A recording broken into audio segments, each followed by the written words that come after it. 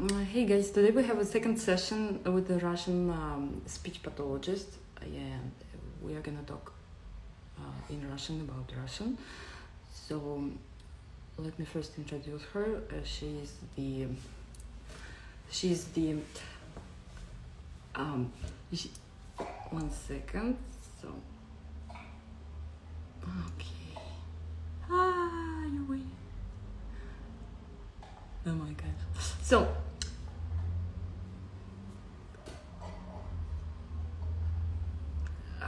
so I'm gonna add Ekaterina.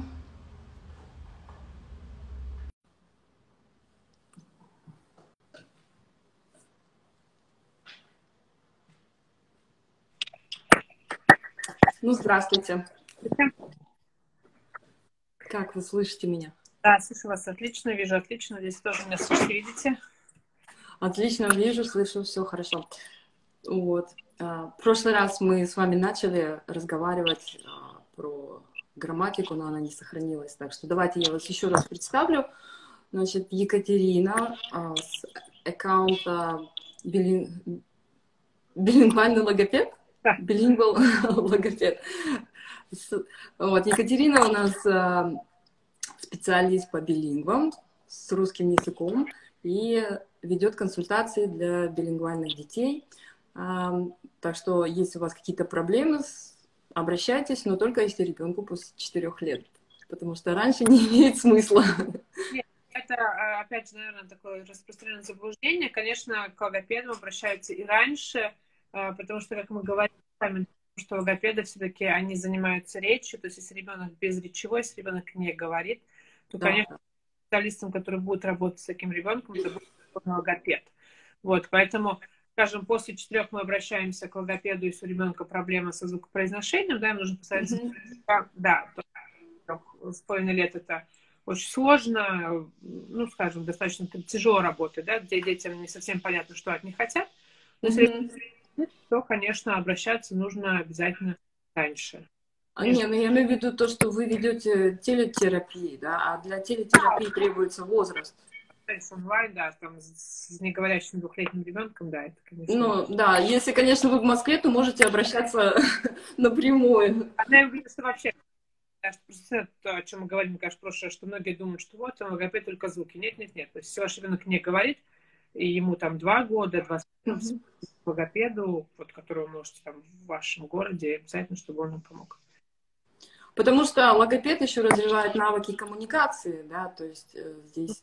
Конечно, да, это все, все общение, да, все, что связано с общением, это все логопед, и поэтому, конечно, с неговорящими детьми и работают именно логопеды, и там неважно, если у тебя ребенок какой-то диагноз или что, работают логопеды. Ну, просто там уже бывают потом дальше разные, там и олигофренопедагоги, да, там тифлопедагоги, Мгм. сурдопедагоги, ну, это все логопеды, да, то есть это все логопеды, просто уже специализация по каким-то конкретным проблемам. А у вас какая специализация? Ну, у меня У меня просто я, получается, учитель логопед, то есть я не логопедный педагог, не тифлопедагог, я не работаю там ни с глухими детьми, ни со слепыми детьми, ни с э, детьми там с э, умственно, ну, как бы с, вот, С задержками, да? да, да. Ну, а вы сейчас учитесь же в магистратуре, по-моему, там какая-то у вас идет специализация на... Это не а это сейчас такая, ну, наверное, одна из, может быть, более таких новых специальностей, нейродефектолог. Это специалист, который работает, да, с людьми, с детьми, со взрослыми, у которых э, нарушена коммуникация, да, тоже. Мгм. Вот это. Да, это вот у всех, а, это и дети, и взрослые, которые в силу разных причин не говорят, либо утратили говорить. В том числе и тра- травматические, да, потери речи. Да, да, да. В том числе, да, это и черепно-мозговые травмы, инфекции и так далее. То есть все, что могло привести к потере речи. А вот, э, по-моему, я что-то опять отвлекаюсь, но, по-моему, после инсульта, да, иногда может быть нарушение речи. Это тоже обращается... Да, достаточно часто, да, то есть это ну, действительно бывает разное, но обычно после инсульта нарушается речь, нарушается она в разной степени, Мгм. а, по-разному восстанавливается, но обычно, да, потому что инсульт, то, о чем, да, мы с вами говорим, мы с вами формируется не здесь, а здесь, да, инсульт, Да, да. Помню, что это кровоизлияние в мозг, поэтому, конечно, а, поражаются определенные участки мозга, которые влияют на речь, на ее понимание, на ее произведение и так далее. И поэтому ну, восстанавливается она по-разному. Бывают люди, которые достаточно быстро восстанавливаются, да, там mm-hmm. минимальная помощь. Люди, которые очень долго не могут говорить, им требуется очень длительная реабилитация и длительная помощь. Вот логопеды называются афазиологи, да, то есть афазия, это когда именно происходит трата речи, а, вот, в силу разных причин. И вот с ними работают э, логопеды, физиологи, которые именно помогают людям восстановить, вернуть речь и устную, и письменную. Ну, то есть э, мы понимаем, что логопед это не только буква Р или буква С. Да, да. Есть, конечно, тем, кому кто очень прекрасно ставит звуки, их этим занимается, как бы, да, то есть такая вот, угу. Вот специализация, да? Вообще, по звукам речи вообще. Ну, ну, раз это не только звуки, то давайте тогда сегодня грамматику захватим, потому что мы в прошлый раз начали, несколько минут они не сохранились. И я уже говорила, что у меня специализация английский. И вот когда я была второй раз училась э, в магистратуре а, в Америке, вот там я вдруг узнала такую вещь, что оказывается, язык не просто спонтанно образуется там откуда-то, а конкретно английский язык образуется а, каждая морфема появляется в свое время и последовательности в определенной. Потом, когда у меня уже был, я смотрела за своим ребенком, вдруг выяснилось, что испанский у него тоже своя есть, э, своя последовательность. Но вот когда мы коснулись, когда я коснулась русского, то вот до трех лет вообще никаких, вот вообще никакой, никакого сдвига не было у нее по сравнению с другими языками, прям было, я уже начала беспокоиться. И потом я начала кое-что подсчитывать, ну и поскольку у меня нет доступа к э, академическим а, как бы, статьям русского, на русском написано, а на английском, ну, как бы не очень популярный, да, язык, то есть и неинтересно. Вот, и кроме как того, что у нас э, начинают описывать, что появляются падежи, ну, как бы, когда уже набрал ребенок какую-то базу словесную, да. там, пред, ну, эти существительные, да, и глаголы, то потом он, когда начинает их связывать, то они появляются в какой-то последовательности. Вот это правда, и если да, то давайте расскажите нам как. Да, ну вот я сразу подготовила, потому что, в принципе, у, у нас тоже есть э, достаточно много пособий, да, которые описывают вот само развитие детской речи. Я просто вот смотрела, хотела показать, э, ну, почему-то у меня здесь ее нет. Ну ладно, я просто расскажу про нее. Было вот вы показывали на днях, книга была какая-то, именно развитие русского. Первая книга Гвоздева, который э, писал на писал своего ребенка. Это mm-hmm. книга, и, к сожалению, его ребенок, Женя Гвоздев, э, мальчик, погиб во время Второй мировой войны. Он писал именно вот про своего ребенка, как его ребенок вот овладевал русским языком. А, очень долгое время, скажем так, это было эталоном, но, в принципе, сейчас все признают, что, конечно, мальчик Дженни Гвоздев был а, в своей степени уникален, то есть он как бы развивался достаточно быстро, mm-hmm. и не могут э, делать то, что он делал. А, Типичный. Да, это вот была такая была очень длительное время такая базовая книга, там как раз-таки вот именно был полностью процесс э, овладевания. А есть вот для тех, кого интересует, да, вопрос, как ребенок овладевает родным языком, а, я могу посоветовать э, труды э, Стелла Наумовны Стейтлин. Вот, вот. Вот это я видела у вас. Вот, да. В принципе, это вот такое классическое учебное пособие. Это учение для вузов. Называется mm-hmm. ребенок. Освоение ребенком родного языка. Но что mm-hmm. интересно для двуязычных э, родителей детей, что Стелла Наумовна, она не только про о, одноязычных детей. У mm-hmm. нее и пособие тоже про владение э, ребенком языком в ситуации двуязычия. У нее есть статьи на эту тему. То есть, в принципе, всем, кому интересно развитие детской речи, можно просто погуглить Стелла Наумовна Цейтлин. Э, выйдет огромное количество статей. Цейтлин. Цейтлин. Цейтлин. Цейтлин. Ага, все, я вижу, да, Цейтлин. Стейтлин, да. А, и, в принципе, все, что касается развития детской речи, а, у нее это есть. Она работает, в данный момент она работает э, в Петербурге. Mm-hmm. Этим интересно, там возглавляет кафедру. Она сама уже человек молодой, достаточно давно уже всем этим занимается. Она еще она была одним из первых, кто возглавлял, помню, это прям так и называлось, кафедра детской речи, что-то такое, ну, сейчас она уже переформировано, как-то называется по-другому, но вот все классические вот статьи, и даже вот если мы там, не знаю, откроем, например, вот оглавление, да, mm-hmm. вот есть, тут есть э, основные группы слов, овладение звуковой основой речи, морфологии, категории числа, падежами, существительными, то есть все, все, все, все, все, как ребенок.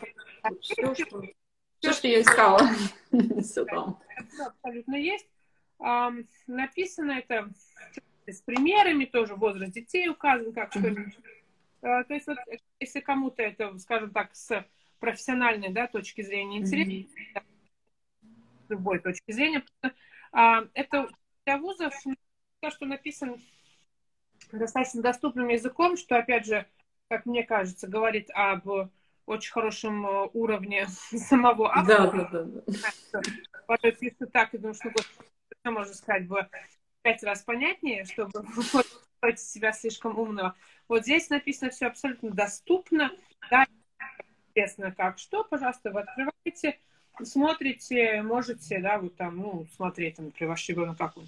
Угу. Опять же, конечно, я повторю, что а, безусловно, вот, например, даже сейчас а, мы откроем, давайте подержим.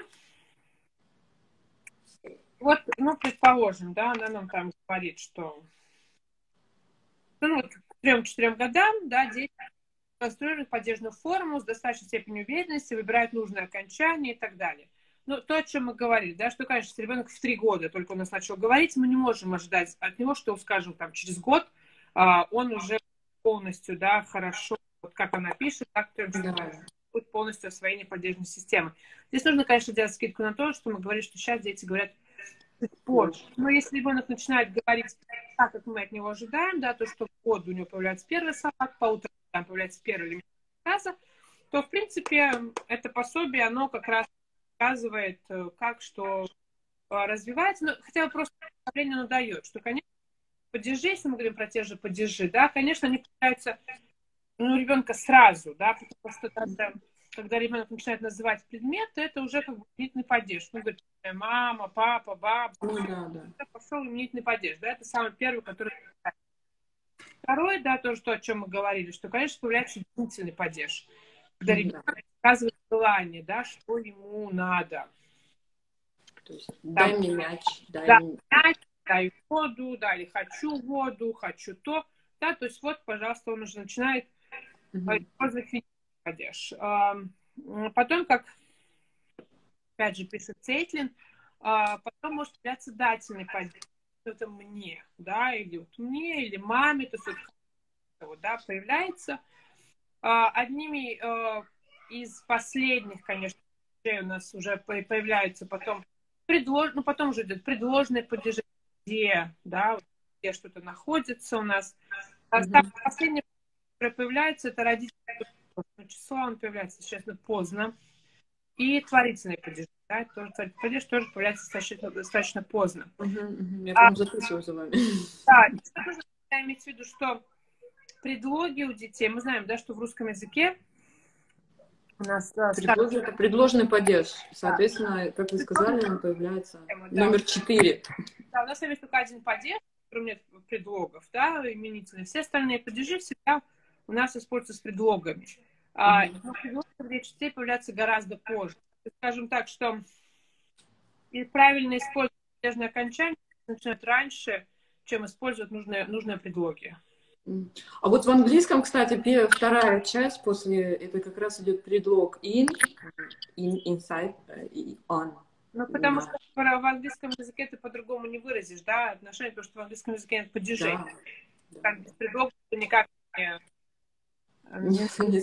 ну, интересная особенность, потому что, вот, допустим, вы говорите, там, она написала 3-4 года, мои 5, и она до сих пор э, иногда на сложных падежах, на, видимо, на предложенных, все-таки ну, делает ошибки, но она еще неплохая. Я видела похуже, как бы, особенно билингвы.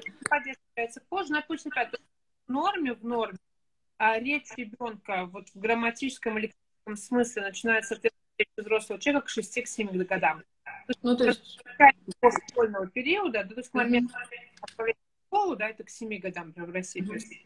а вот к этому моменту, к 6-7 годам, ребенок овладевает как бы грамматически э, основными, как бы основными грамматическими категориями он уже овладевает к 6 годам. То есть его речь уже максимально с грамматической, лексической точки зрения приближается к речи взрослого человека.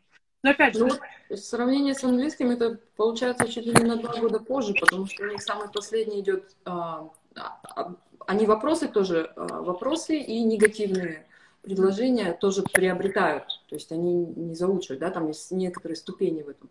Вот где-то к пяти годам уже считается, что полностью ребенок должен и спрашивать, с WH questions и, и все остальное и негативно отвечать. То есть здесь э, как бы вот почему пугает, когда русский развивается вместе с английским, то русский чуть-чуть запаздывает в этом плане. Ну, Пока... Ну, когда, когда мы советую, если нет необходимости вводить э, английский до пятилетнего возраста, не делайте этого, да, опираясь вот именно вот на то, что... Ну, у нас, да, я, у нас как бы, сами понимаете, у нас семейное положение, и так как мы живем, это требует, да, то есть... Нет, нет, конечно, когда мы говорим про ситуацию естественного двоязычия, мы, конечно, mm-hmm. мы, когда пять лет ты молчишь вообще, с детьми не разговариваешь, пожалуйста. Если... Да. А потом после пяти как бы разберемся. А, понятно, что нет. Но обычно, когда мы говорим там про искусственное, да, то искусственное... Да. А, некоторые советы, да, тоже, что подождите, они имеют как бы под собой некий что, ну, действительно, объективно язык проще, например, да, и, конечно, Абсолютно. проще, конечно, как, может быть, даже я упоминала, что мы, мы живем в России, у нас русский, да, да, хоть папа русскоязычный, да, у него первые слова были на английском, потому что они были... Они проще, они фонетически проще. Я вот тогда тоже писала, что, смотрите, у нас детский вокабуляр на английском hat, cat, dog, все, один слог, да? Испанский два идет пою, а потом гато, тоже полегче. Но русский идет собака, да. корова. Все минимум три слога, да еще такие капитальные, знаете, монументальные. Поэтому они, Проще. как правило, прыгают на самый легкий язык что да. является английским, а потом вы, вы их лечите в конце. Конечно, да, потому что мы тоже, моего сына был персо К, машина. Ну, ну да. Вот где К, где машина. Да, бас у него тоже. Опять же, тоже бас гораздо проще, чем автобус, да? Конечно. Там на время говорил соки. Вот, то есть, как сок, но говорил соки, вот тоже. Потому что, опять же, сок тоже проще, чем на сок. Все один. На соки. Ну, вообще-то, да, ну, сок, на сок. Да, были соки, да, потому что, опять же, да, проще, чем например, или носки, тоже вообще же еще происходит учредование. А, кстати, если вы, я просто вот перебью, а, и, значит, был а, Слобин, Дэн Слобин, он описывал, вот как языки разные приобретают, особенно в сочетании, и он сказал, что обычно первое, что дети приобретают, это окончание, вот почему они как бы игнорируют приставки, ну, не, вот как редуцируют, да, то есть к самому окончанию, потому что это оказывается а, естественная способность ну, как бы, такая, э, как это объяснить, так, они запрограммированы. И самые последние, на самом деле, появляются вот эти приставки. Языки типа турецких, допустим, где вся грамматика сосредоточена в окончании, они их приобретают гораздо быстрее, чем, допустим, там, где в основном на приставках, как русский. Вот. Поэтому, да, конечно, все развивается, интересно, естественно, поэтому говорю, кому вот интересно, это вот Стеллану Цейтлин смотреть, Mm-hmm. И опять же, резко подходить к, к ребенку. Если мы говорим про фразу, да, опять же, это может быть сначала два простых слова, конечно, да, там это, там пускай даже, не знаю, там киса ам, это уже фраза, да, это уже хорошо. И постепенно, mm-hmm. предлоги, ребенок постепенно начинает наращивать предлоги. А сначала тоже самое к английскому это в на, это самое mm-hmm. да, а потом уже постепенно, постепенно, постепенно идут предлоги, но есть как бы с предлогами, вообще, когда мы говорим про овладевание поддержкой, предложно поддерживать в русском языке, здесь тоже нужно быть а, внимательными в том плане, что, ну, во-первых, мы понимаем, да, то, что чтобы понимать предлоги, тоже нужно уметь ориентироваться и в своем теле в том числе, да, и обычно первое идет у нас ориентация, а потом уже менталь. То есть мы понимаем раньше, чем право, например, да, тоже обращать внимание, и здесь вот, предположим, если у вас ребенок, ну, казалось бы, достиг и он не понимает, ну, не использует, например, предлог под, предположим, да. Mm-hmm. проверьте, ну, понимает ли он такое, да, то есть просто может быть не сформирован, да, вот, вот зрительно-пространственный гнозис, и ребенок не использует под потому что он просто не понимает, не понимает, что такое под да, то есть если у вас, вы видите, что в речи не появляются более сложные предлоги у ребенка, нужно проверить, что он просто действительно не, не сформирован этот навык, потому что, опять же, он не врожденный, mm-hmm. не, не появляемся, да, с, возможно, как бы не рождаемся с способностью ориентации. Это не врожденный навык, это приобретается. Который, если ваш ребенок не использует там при итоге под, из, под, над, изнад, да, это может быть вполне, потому что не понимает, что это такое, да, то есть нужно проверить, понимает ли он ориентирование в своем теле, вверх, вниз, лево, право, все остальное, ориентируется ли он в собеседнике, ориентируется ли он на плоскости, а, и если этого не происходит, да, то тогда э, этим просто нужно, над этим нужно работать. Потому что если ребенок не понимает предлогов, он их не использует, использует ошибками, это все отражается в том числе в речи, когда неправильные поддержки, да, Ну, как бы, падеж мы поняли, что там еще далеко до падежа. Ну да, нет, просто действительно понимает, предположим, разницу между под и над, он искать он неправильно, да, потом вы там говорит, там, не знаю, около стола или все что угодно. То есть это все потом, вот эта сформированность того зрительного гнозиса, она все в итоге выходит в речь. Он в речи говорит ошибками, и мы должны понимать, почему он говорит. Вот именно потому, что он сформирован у него этот гнозис зрительного пространства, и он просто не очень хорошо ориентируется в пространстве, и ему нужно помогать ориентироваться, потому что это не врожденный навык. А как мы помогаем? Мы просто показываем, вот смотри, это на столе, а это под столом. Да-да-да, это все начинается. Мы начинаем уч- учиться ориентироваться в своем теле, где у нас верх, низ, где право, лево. Мы начинаем строить что-то, да, то есть мы mm-hmm. играем мячик под стол прячем, да, mm-hmm. да, мы там прячем за там и за То есть мы начинаем ему показывать, начинаем с ним играть потихоньку. И все через игру, да, там с какими-то предметами, строим там какие-то башенки раскладываем вот эти э, все э, тоже вещи. И, например, как, какие вот у нас есть там пособия, которые ориентированы на подготовку к школе, mm-hmm. хорошее пособие, там всегда есть задания на плоскость. На, никогда, на ориентацию, да, да. да, их не нужно никогда как бы пропускать и вот эти вот там и графические диктанты, да, как а, ну да, когда... вправо, вниз, вверх по диагонали, это тоже как раз таки а, проверка, это умеет ребенок ориентироваться в плоскости, и умеет ли ребенок понимать. Что, опять же, ребенок не ориентируется право-лево, он же ну, зеркалить будет буквы, да, писать будет Потому что, ну, как Кстати, ему... они, они же все так пишут, начинают писать задом наперед, ну, по крайней мере, на английском, а потом проходит со временем. По возрасту, да, мы говорим, что где-то пускай до 6-7 лет, вот это зеркальное, это норма, да, это еще норма. Mm-hmm. Если это уже происходит и, и после 7 лет, да, то понимаем, что это не норма, что это именно плохо сформированность вот этих вот э, гнозиса. То есть мы должны на это тоже обращать внимание, чтобы ребенок, ну вот э, я вот, вот у меня сын тоже, да, он читает на русском, на английском, то в английском B и D он постоянно путает, да, вот где да, там, где на D, можно сказать B, на... Да, да. А и вот это вот смотри, там D, вот он в ту сторону, B в ту Не, ну, это для начала, оно потом пройдет. Я, я по своей знаю, вот она год а, где-то до четырех писала все задом наперед, и мне так нравилось, я прям все сохранила. А потом уже, вот когда уже с, с пяти лет, ее прям, ну, она уже сама переучилась. Иногда выскакивает, но... Что у ребенка это не сформируется, он не понимает, где у него право. Э, ему будет очень тяжело потом объяснить, э, да, что там запомнить, что эта буква смотрит вправо, а та буква смотрит влево, да, mm-hmm. Дети должны это понимать, конечно, и мы на это обращаем внимание обязательно, то есть мы когда готовим там детей, условно говоря, в школе, к письму, и все как бы это ни называлось, все эти задания, смысл мы их, конечно, стараемся пропускать, не, не выбрасывать. А по поводу род, род и число, это у нас когда появляется? Когда вот они ну, в теории должны знать это? Трех лет путают э, с, с категорией рода, они могут особенно, да, опять же, мы говорим про билингвов, это абсолютно нормально. И тоже мы где-то уже к четырем годам где-то должны переставать путаться с, с категорией рода, а они уже должны все это понимать. Потому что вначале, да, конечно, для них это все моя или мой. Моя, моя. У меня сейчас вот дочки младшей исполнилось два. Короче, ну, порой она начинает, можно так сказать, это мое сок. А, Вика, это мой сок. Нет, это мое сок.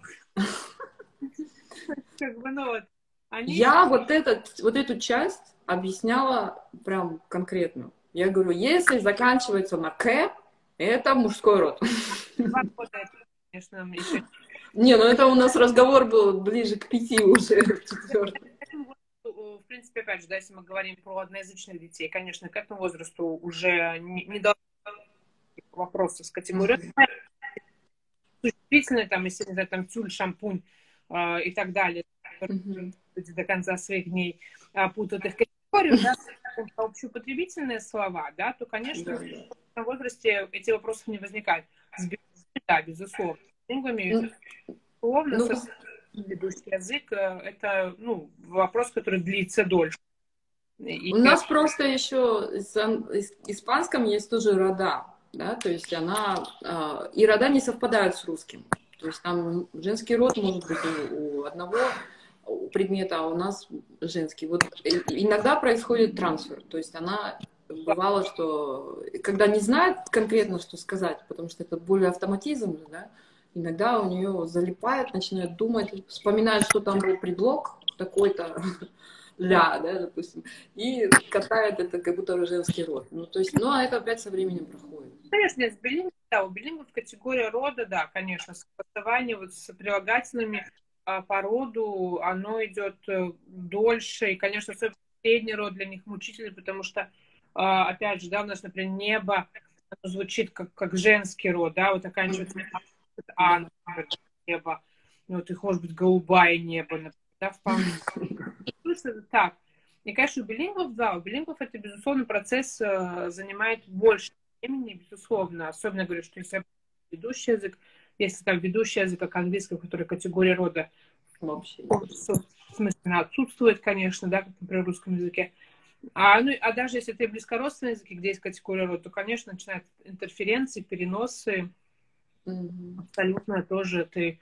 Ну, я уже в прошлый раз сказала, что там тоже белорусский опыт. И у меня тоже длительное время было, что на некоторых существительных, которые там в русском и в белорусском не совпадает род, да даже сейчас у меня иногда бывает, если я устаю, а, например, вот в белорусском языке собака это мужского рода. Mm-hmm. И вот у меня порой, вот, я порой заловлю себя на то, я уже лет 15 не говорю на русском вообще, но mm-hmm. вот, заклинить, и мне нужно вспомнить, что собака это она моя, а не собака мой, да, то, что, поэтому вот, а близкородственность, конечно, а, вообще как бы очень сильная, да, интерференция, потому что я не говорю на русском точно лет 15, но вот Суня может там что-то заклинить, заклинить, что собака, я потом просто вспоминаю там... Собака мой. Стихотворение башню какую-то в школе учили, у папады был собака. Ага, да у нас был girl, значит, в русском это будет она. Хорошо. Была собака. В русском это она. Почему, да? Вообще столько лет я уже не говорю на языке, но тем не менее вот там в голове еще... Выскакивает, да?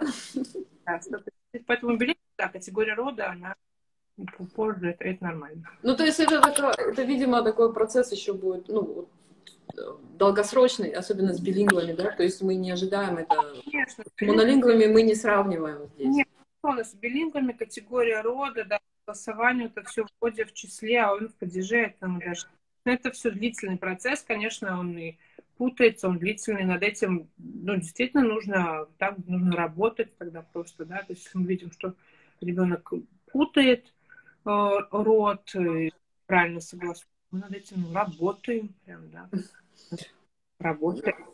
Но еще, видимо, большую, конечно, роль влияет это количество русского языка вокруг. Да, тут. Это... Да, ну это прям вот э, ну, ключевая, ключевая роль о том, как родители говорят ли они с детьми, сколько времени посвящают, сколько времени это уходит, безусловно. Ну да, это, это ключевая А как вы, как вы советуете, мне просто интересно, когда, допустим, если у нас три языка, и русский как раз-таки не используется, да, это не язык среды, сколько времени для русского уделять? Потому что вот э, есть, есть говорят, что не, там, не меньше, чем 25% времени, другие говорят не меньше, чем 50% времени. Если мы там день делим на три части, у нас три языка, вот на три части по 30%, да? Вы как думаете? Я бы, наверное, мне кажется, эта ситуация не делила бы, может быть, день а, на процент, а я бы делила бы, может быть, дни недели. Но дело в том, что, смотрите, она вот у нас как, вот как моя ситуация, да, там, она им параллельно в одном, вот в одно и то же время с папой говорит на испанском, со мной говорит на русском, приходит в школу, говорит на английском. Да. Тут разделить на день недели вообще не получится, потому что у нас папа плотно сидит на вот этой один родитель, одна политика. Ну, то есть он может на английский перескочить, но не как бы с ребенком он на испанском, что хорошо, в принципе. Она знает испанский, но а, вот такая вот прям градация четкая. Вот понедельник мы только по-русски. Ну, да, конечно. Я не знаю испанского достаточно, меня начинает выбешивать как бы моя неспособность разговаривать на нем хорошо, да? Хорошо, вы не вмешиваетесь в разговор на испанском, это очень удобно. Да, да, да. А он не понимает то, что мы говорим по-русски. Вот такая ну, Нет, конечно, ваша ситуация, да, безусловно. То есть вы так и продолжаете, да, просто да, да, мы как бы, вот мы, я не могу, я пыталась поначалу, не работает такая ситуация. То есть я могу с ней на русском, тут же дверь постучали, э, мы говорим на английском, она сидит, слушает. Потом английский появился самый первый, вообще, не, ну как бы, э, меньше всего использовался, и появился самый первый из-за того, что он простой. А вот, и как бы, пытались мы, муж не говорит по-русски, вот у него там три фразы только, ну, чуть-чуть, да, может, понимает. А я на испанском, ну, могу полдня вытерпеть, но потом я начинаю сама уже беситься и перехожу. Ну, ну да, э, просто, ну, в нашей, например, ситуации, конечно, у нас э, русский приводит, потому что язык да, у нас, ну, проблема да, да. с дочками стоит с английским, например, да, потому что он у них, конечно, ну, вот у среднего он уже появляется, вот средний, говорю, в три года я прям переключила, начала с папой говорить на английском, неожиданно, просто до трех лет он вообще просто не считал нужным говорить с папой на английском. После как переключила, он начал говорить. Но э, как, как мы делим, да, то есть, конечно, папа говорит только на, на английском, только на русском, когда мы все вместе. Но, опять же, у нас был с первым ребенком, когда, э, ну, при этом муж не все понимал, о чем я говорю с ребенком на русском, консультировала всегда. Я а, знаю, что я говорю по прекрасно. Да, да, да, да. Это, это, кстати, норма. Они начинают а, переводить. у сына были попытки перевести на английский, которые я пресекла. И теперь, хотя, опять же, то есть, на всех мамах, но мне, он учится в английской школе, у меня почетная обязанность сделать ему домашнее задание. Я делала на английском языке. Что интересно, он сам, даже во время выполнения домашнего задания на английском, он говорит со мной на русском. Я с ним могу говорить на английском, то есть я ему говорю на английском, там, прочитай мне вот это или что-то. Он да. мне читает, а потому что там сказать, прокомментировать на русском. То есть он со мной не приходит на английский даже в ситуации, когда мы делаем домашнее задание с ним. Хотя, когда я пыталась с ним говорить на русском во время домашнего задания, он мне сказал, мама, а почему ты говоришь, что мы на русском уже делаем с тобой английское домашнее задание? При этом он со мной на русском, но от меня ждал английского. И не переходил, не переходил на английский вообще никак. У нас просто э, такое правило в доме, ну, как бы с самого рождения, да, мы сейчас, я объявляю, мы сейчас говорим только по-русски. Все, она выключается, если она какие-то слова не знает, я ей помогаю. А, и то же самое со всеми остальными. Когда мы делаем, скажем, домашние задания, какие-то учебные вещи, или я читаю в основном на английском, то я ей говорю, теперь мы говорим только на английском. Конечно, она со мной, поскольку у нее сейчас русский самый лидирующий, uh-huh. что меня очень радует, да, сейчас она переходит, но как только она вернется в школу, ну, как бы в школу, все, начинает мне приходится ее ограничивать. Давай, да. вот сейчас мы будем говорить по-русски. Ну, как бы вот приходится вот так. Да, ну, а... это, это просто это зависит как, а, абсолютно от родителей, да, им это надо, а, насколько они, потому что действительно мы понимаем, что только ребенок ходит э, в школу, да, язык среды, язык школы становится превалирующим, да, потому что, ну, как опять это говорят, что язык познания То есть сначала у детей язык матери, это язык познания среды, да, они уходят в школу, mm-hmm. Язык да, да. с языком познания мира, им язык матери уже становится нужен гораздо меньше, и поэтому здесь уже зависит именно от, от родителей, насколько они настроены на то, чтобы это сохранять, тратить на это силы, да, понимаю, что, опять же, есть кризис билингвизма, когда дети отказываются от говорения на одном из языков.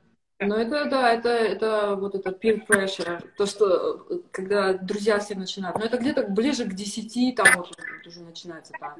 Первый кризис билингвизма наступает именно, когда ребенок уходит в среду, когда вот он, например, mm-hmm. школу, да, или там садик на другом языке, вот это начинается первый кризис билингвизма, когда ребенок ну все, зачем ему теперь говорить на другом языке, когда мир вокруг него говорит на том языке. И он начинает отказываться от материнского языка, либо от домашнего языка, он начинает от него отказываться, да, это вот, вот именно такой вот поход, как бы вот выход в школу, это считается самым билингвизма. Вот, и здесь как бы опять же от того, насколько там родители будут э, настойчивы. Ну, здесь, видите, настойчиво или заставлять тоже не получится. Здесь просто, вот как мы, допустим, шантажируем и манипулируем. Скажем, какое-то удовольствие, ну, в том числе чтение книг, вот им нравится, да, скажем, только на русском. Или там, скажем, ну, с бабушкой очень нравится разговаривать. Естественно, бабушка не знает ни одного языка, тоже на русском. Да. Вот. Вот. Не знаю, как пойдет дальше, но пока что вот именно шантаж и манипуляция. Просто, да, это самое основное а вот заставлять, ну-ка ты давай сейчас, вот это, это, короче, только отбивает все желание навсегда. Да, точно так например, сейчас вот у сына там читать на русском, ему нравится читать больше, чем на английском, поэтому вот у меня тоже, хочешь читать на русском книжку, читаем с тобой, да, читаем это на английском, потом читаем там еще две на русском. Вот. А вы, кстати, сколько ему лет? Я видела, он читает так, так уже бодренько. Ему, ну, пять с половиной. А, то есть он пять с половиной, ну, потому что вот моя чуть-чуть только начинает подсчитывать, но я ее как бы э, вообще э, грамотность не учу. Ранее, особенно вот это раннее чтение, потому что у детей вот всего лишь пять лет детства, пусть играет. Он просто по они вот по британской системе, они, он, он получается сейчас в школе, вот этот а, и их начали учить, э, их там начали учить читать. Ну да, я сейчас понимаю. А он у вас, получается, э, британская школа, они в пять лет идут, да? Да, на первый класс. По их системе, да. да Kindergarten, он... да? Я не знаю, как он называется в британском. До пяти лет. Uh, у них mm-hmm. есть nursery, это, по-моему, с трех лет, с четырех лет reception. Mm-hmm. Такой, да, подготовка. Вот он в четыре года попал в reception, Uh-huh. А, и у них началось, они начали, то есть мы, у нас были попытки какие-то показывать ему буквы до четырех лет на русском языке, они его не интересовали абсолютно, и я и не настаивала, потому что я тоже абсолютно противник раннего обучения, то есть какие-то буквы он знал, и они его не интересовали, ему показывала, но это так вот, оставалось но сейчас они пошли в школу, ну, у нас как, как бы тоже такая же система, но вот судя по исследованиям, которые, ну, как бы я со своей стороны читала, что вот это раннее э, развитие грамотности, оно ни к чему, потому что э, они выравниваются где-то вот к средней школе. В районе 10 лет, и те, кто поздно начали, кто, кто рано, они выходят на один уровень. То есть, как бы зачем... Тоже абсолютно согласна. То есть, если бы не он сейчас не пошел, то есть, если бы в школе они этого не делали, конечно, я и не настаиваю, но ему, э, ну, как бы, сейчас я вижу, что ему, что он уже на, начал, он уже может читать, и ему mm-hmm. Ну а. вот, это еще от ребенка зависит. Там же есть э, показатели, когда они готовы, да. То есть, когда он начинает черкать вот так, это уже можно давать ему какие-то, когда начинает имитировать чтение, да, это уже пора. Ему, ему это нравится, и поэтому вот тоже то, о чем говорит, я показываю вот книжку, которую мы на русском читаем, да, вот это вот а, Татьяна Руситы. Да, да, да, это вот, это, да. видимо, то, что вы показывали у себя в сторисах. Да, да. Мы с ним читаем. А, это очень хорошие книжки, вот они разделены такие блоки, тут как бы четыре буквы, угу. а потом опять там четыре буквы, и дальше там шесть букв, а, то есть побольше. Ну да, это graded reader, да, да, то, что называют, по ступеням. По, принципу, да, этих вот всех, э, там и Oxford Trees и все остальное, то есть по принципу такого идет от простого к сложному. Вот я покажу то, что мы, то, что я говорю, мы когда их начали читать, э, только в первый день, э, вот у меня сын сам захотел, по три или четыре книжки, читал сам, ему захотелось читать ему все эти книжки сразу. Вот они достаточно простые. Вот, например, это самый первый, да, где четыре буквы. Угу. Кука. Знаете, вот там кукареку, да, смотришь картинки. Да, да, да, я вот это да. просто... О, да, то есть как бы оно начинается вот такое простое, да, иго, да. да, да, да, ого-го. Тут все потом, тут такие элементарные фразы, там, лев, да, ну как бы все такое идет. И потом, что как бы интересно, здесь есть, эм, как бы, где у нас, ну, есть наклейки. Ну, это, это валюта детская. Ребенок прочитал, и вот наклеивает, например, вот наклейку все прочитано. Молодец. Это очень нравится. нравится. И потом, там, они же простые, там такие, ну, смешные картинки сами, и сюжет тоже такие подобраны достаточно смешные. И, и у ребенка опять успеха, потому что он прочитал целую книжку. Там, ну, конечно, да. Вот, там прям целая книжка, вот она книжка прям вся прочитана, да, ну, там не важно, да, что в этой книжке, да, у нас там все вот такое, но вот у ребенка ситуация, что, о, я прочитала целую книжку, и ему это очень нравится, и это, конечно, дает ну, кстати, э, я вот, э, мы по материалам, я пошла э, на закупки, прошла по магазинам, ну и как бы и увидела огромное количество материала логопедического. Просто такого в Штатах никогда не найдешь, потому что такие вещи только для специалистов продаются. Почему у нас как бы в надежде, что родители дома будут заниматься по ним? Ну, в принципе, у родителей... Или родители действительно занимаются по ним? Выхода в школу в 7 лет, ребенок должен иметь... То есть кто-то его должен этому научить. Ну, как правило, это садик, либо бабушка. Ну, бабушка, да, бабушка. Если сказать так, бабушка, сядь и делай. А садик же все равно, как в садике, тоже там дают задания, ты должен их выполнять и так далее. То есть у родителей нет выхода, потому что э, ребенок идет в школу, он должен уметь читать и писать, и считать в идеале. Да? Кто-то должен его этому учить. Не знаю, мы ходили без этого в школу. А сейчас это невозможно, потому что, опять же, я говорю, что сейчас в московских, например, школах норма до 40 детей в классе, ну, конечно, если ребенок в 7 лет идет, не умеет читать, э, вряд ли в такой ситуации он тебя это делать. То есть, поэтому, ну, ты должен позаботиться. Поэтому, да, дети, конечно, поэтому там няни, ну, кого да, вот кого-то без няни, садики, бабушки. Не, ну, как правило, кто-то все равно в результате заканчивает алфавитом. Хотя бы интернет, интернет, наверное, учит буквы. А, по материалам, смотрите, я после того, как я вам отправила, еще приобрела вот такие две, а, скажем, бормоталки и говорилки. Но поскольку я работаю там с как бы, русскоговорящими экспатами детей, да, то а, было интересно найти вот то, что у вас в этом в вашей книжке, да, Угу. Здесь вот то же самое, вот такие карточки. И с такими э, рифмовка, допустим, цо-цо-цо, курочка снесла яйцо. И они еще, как бы вот качество прям вообще прям шикарное. Это не реклама. Это, это очень хорошие чистоговорки, да, их можно брать вообще прекрасно. И вот и, и мы сейчас сегодня одну коробку прошли, как бы, но она уже не на том уровне, но все равно я нашла, что она, оказывается, жиши, Жиши. Вот немножко хромает у меня один звук тот же самый. Потом вы мне еще в прошлый раз говорили про Али... Олеся Жукова, да? Да, да, очень мне нравится, да. Вот и я ее купила просто, а, как бы еще до вас. Это из всего вот этого огромного выбора, почему-то ну, как бы они мне визуально книги не нравятся, поэтому даже брать не хочу, потому что все равно потом с ними жить, да? да. А вот она, она как бы, э, вы, ну, не, как бы пособия такие же э, везде, да. Очень хорошо организовано по темам. Да. Вокабуляр, развитие, потом идет э, расскажи о назначении каждого помещения, ну, то есть вот это... Мне очень хорошо, да, я согласна, мне а, у Жукова нравится, мне очень прекрасное пособие. Вот это прям классно э, как бы, для себя. Да, это очень хороший материал, я помню, что а, как называлась у нее Жукова, самая первая книга малыша или что-то. У нее, да, и они как бы приятненькие. Потом нашла еще один большой альбом по развитию речи.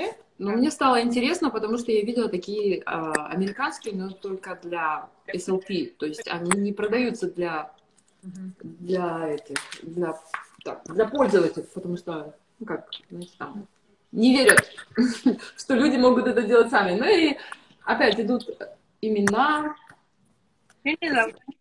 Это Новиковская. Вы о ней знакомое имя? Да, Новиковская мне прекрасно нравится ее логопедические грамматики. Они uh-huh. три книжки есть э, по 4, по-моему, 4, 6, 6, 8, если ошибаться, но, по-моему, так mm-hmm.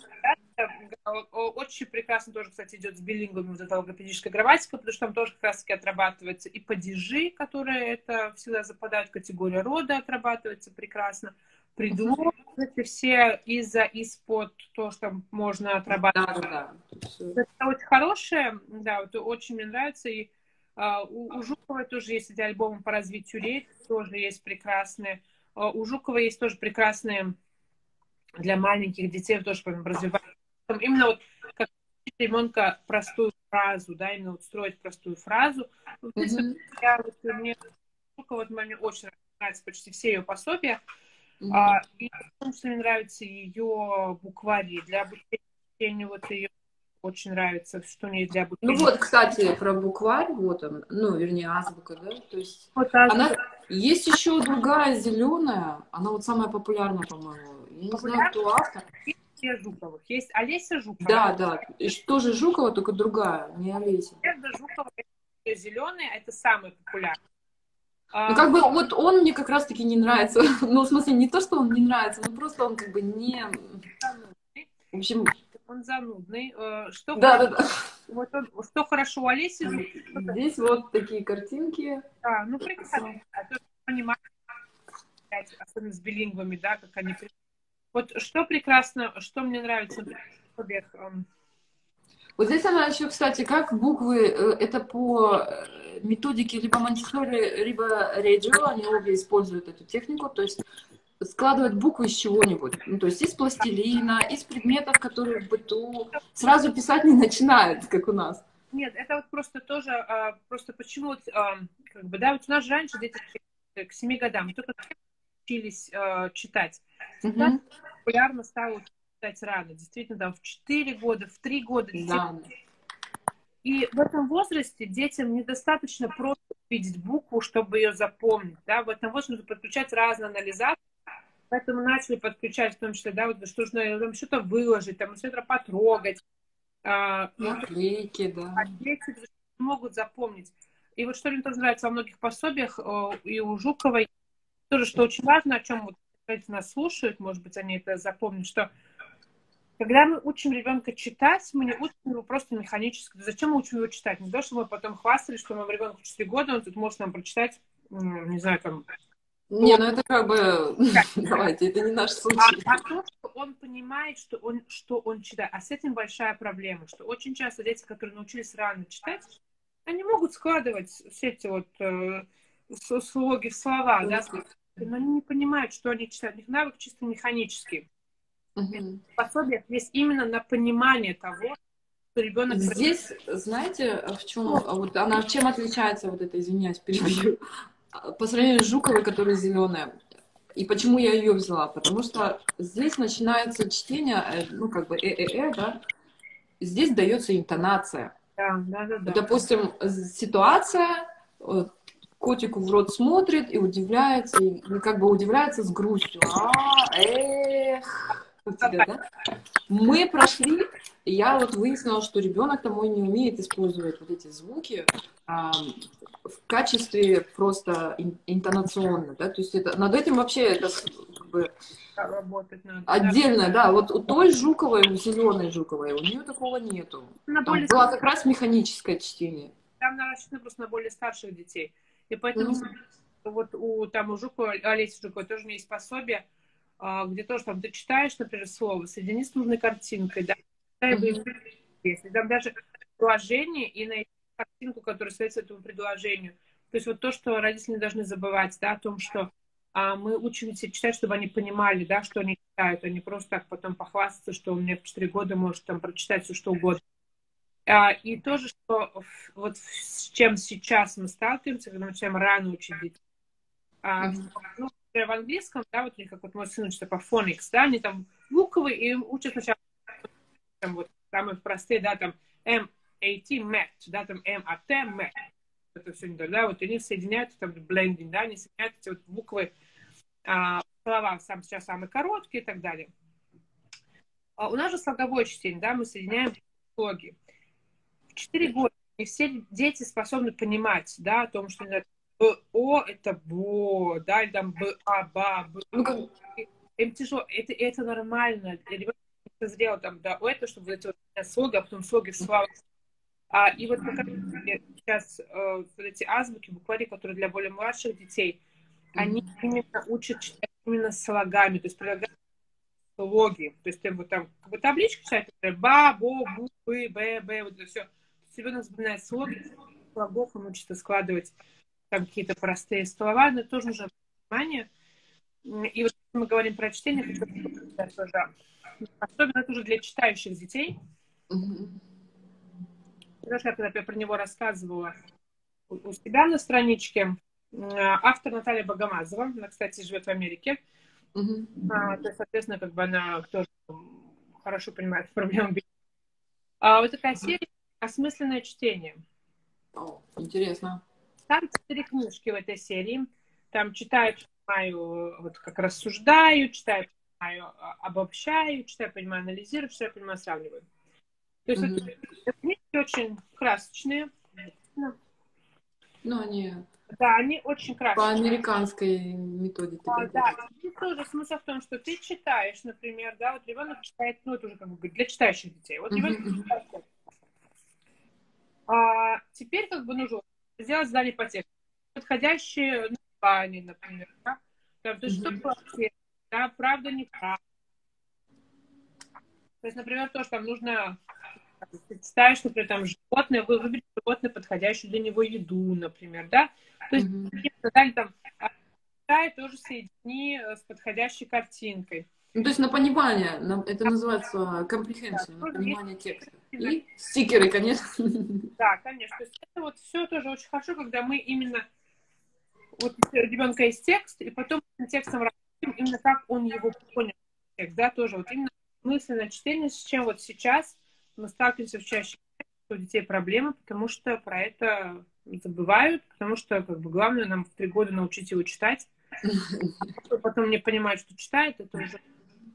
Дело в том, что э, вот это на, понимание, да, оно развивается задолго до, до начала чтения, потому что мы когда даже сказки читаем, или любая литература, как, как правило, я не знаю, вы задаете вопросы, что, ну вот, кто главный герой был, чтобы как бы как бы контролировать, что он там понял, потому что я очень часто могу часами разговаривать, а потом а, вот это, о чем, о чем вообще речь была. Поэтому вот даже простое чтение, мы, как правило, останавливаемся, и я ее прошу кое-что вспомнить из того, что она запомнила. И... А потом уже, когда, видимо, начинает читать, она ну, ложится уже получше. Ну, конечно, ну, понятно, что просто, да, ну, не, не все это делают, да, это, может быть, что это важно, не все а, может быть, думает, что ребенок может не понимать, да, предположим, да, что он прочитал. А это действительно может быть, ребенок не понимает сложное слово, ребенок может не знать этого слова, да, или... То есть мы же тоже ну, через течение в том числе и пополняем и наши слова, да, то есть, соответственно, если ребенок кто прочитал какое-то новое слово, вот можно объяснять ему, да. Вот, вот это, например, да, ведь это же тоже как бы все-таки чтение, оно же в том числе и действительно для пополнения словарного запаса и всего остального, поэтому, конечно, нужно это обращать внимание, просто не, не все, может быть, об этом, скажем так, задумываются, да, например. Не, ну это очень важная часть э, родительского долга. Да, об этом не забывать, но опять же, так говорю, что не, не, не все не всегда об этом, может, как-то задумываются. Да, опять же, даже те же мультики, которые, да, вот мы говорим, и тоже же мультики сами по себе не зло. Да, да. Да, опять же, если пассивное, пассивное сидение перед телевизором. Опять же, мультик там с ребенком, ну, спросите у него что-нибудь, да, если там что, что вот там было, кто, как это главного героя, это кто, вот он кто, какая вот там, компот, там. Тут согласна с вами. Кстати, это, это будет, уже будет на пользу. Одной стороны, вы там отдохнули, пока он ребенок например, мультики смотрел. Ну вот вы там рядом с ним посидели, потом можно mm-hmm. так, потому что они увидели, например, и сказать, ну видишь, нехорошо так делать, да, как бы. Да, да. Ну, Так вот. И, и уже как бы вот, уже, и то есть это вот пассивная лексика, уже есть больше шансов, что она будет потом в актив переходить. В активную, вот. Поэтому просто, да, нужно, ну, как бы, э, понимать, что это могут быть с этим проблемы, поэтому на это нужно обращать внимание. Ну да. Еще один вопрос, последний уже, коротенечко. Я хочу, чтобы вы это сказали. А, вот это звукоподражание, для чего мы его делаем, почему это важно, если это важно, вы скажите свою версию, потому что, а, как правило, все, все чтение и вообще первые слова все-таки это звукоподражание. Почему это делает ребенок? Ну, это считается, да, как бы такое тоже ступенью развития, да, то есть это самое простое, что мы слышим вокруг себя, да, это вот такая вот первая ступень развития. Считается, что, да, период звукоподражания, он достаточно важный период.